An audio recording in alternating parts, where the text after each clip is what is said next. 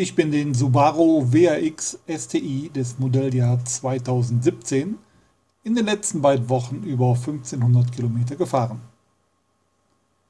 Traditionell wird auch der WRX von einem flachbauenden Boxermotor angetrieben, der dazu beiträgt, den Schwerpunkt niedrig zu halten.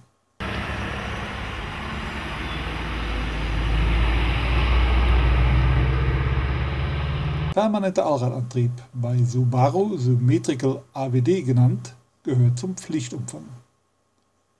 Insbesondere der massige Heckflügel deutet darauf hin, wo bei Subaru mit dem WRX die Reise hingeht.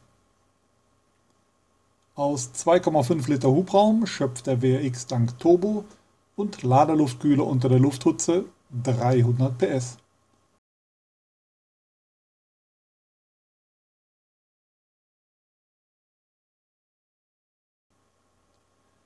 Der Motor zeichnet sich durch eine spontane Gasannahme aus und die Paradedisziplin des WRX ist die Beschleunigung ab etwa 2000 Umdrehungen. Egal in welchem Gang ich mich befinde, jedes folgende Fahrzeug im Rückspiegel verkleinert sich zusehends.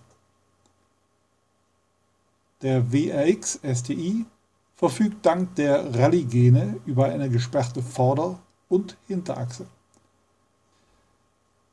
Das Ausreizen dieser beiden auch noch einstellbaren Sperren im öffentlichen Straßenverkehr ist nicht ansatzweise möglich.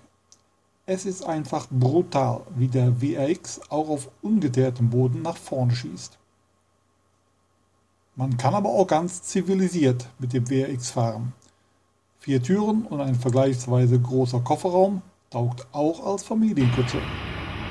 Dann sind sogar Verbrauchswerte von 10 Litern auf 100 Kilometern realisierbar.